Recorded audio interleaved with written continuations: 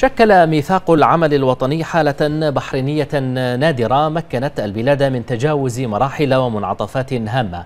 كما حقق الميثاق الكثير من المكاسب والمنجزات لا سيما في مجالات المواطنة والحريات وحقوق المرأة والتعليم والعمل. بدأت مملكة البحرين بجني ثمار ميثاق العمل الوطني الذي شكل قاعدة أساسية لكل ما جاء بعده من تغييرات سياسية شهدتها مملكة البحرين.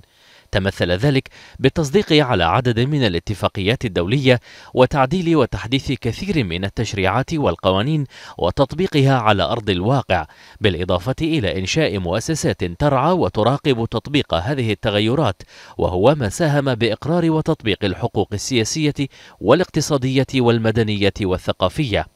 أسس ميثاق العمل الوطني الأرضية الصلبة على جميع الأصعدة وشكل دعامات هامة لحقوق الفرد والجماعة وضمن التوازن بين الحقوق انطلاقا من الحقوق الفردية التي أساسها الحرية الشخصية المتمثلة في حرية العقيدة وحرية التعبير والنشر وحقوق المرأة والطفل والمساواة وعدم التمييز وتكافؤ الفرص والعدالة. انتهاء بحقوق المجتمع الذي بدأت ملامح التغيير فيه من خلال نشاطات مؤسسات المجتمع المدني والمشاركة الشعبية في صنع القرار من خلال الاقتراع المباشر ونشاط النقابات والجمعيات.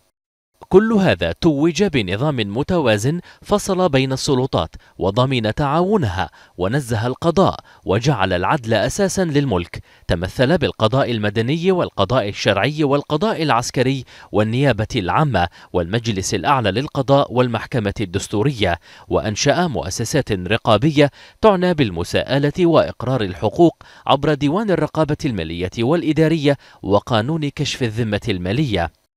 الحديث عن الميثاق حديث عن يومياتنا هو حياتنا التي نعيشها نحفظه ونحافظ على ما تحقق به من أمن واستقرار ومكتسبات.